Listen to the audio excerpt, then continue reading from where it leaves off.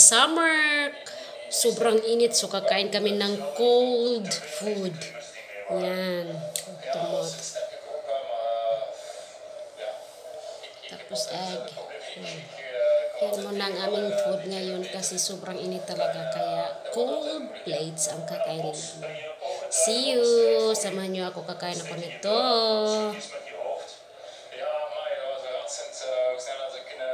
Spirari. Spirali. Spirari. Yeah. Belgian. Kainan time. Spirari daw ang pangalan. Belgian food muna tayo. Sobrang init talaga. Sobrang init talaga. Mm. With tomato.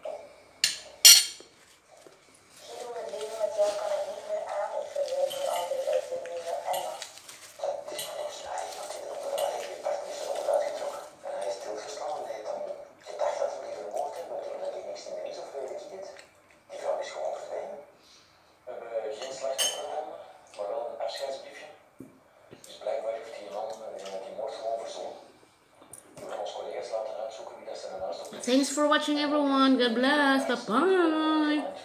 See you in the next video.